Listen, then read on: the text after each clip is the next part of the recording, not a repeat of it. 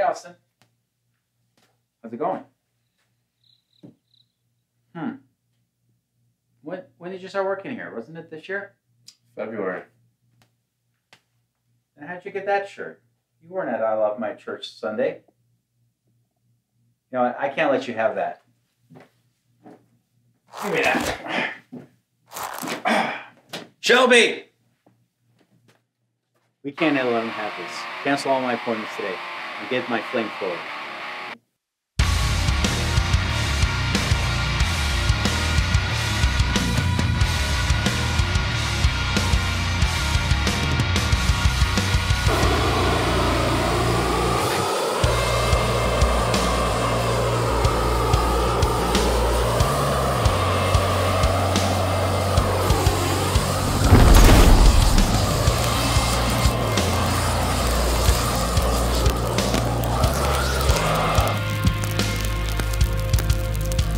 Austin, that's what happens when you're not at I Love My Church Sunday.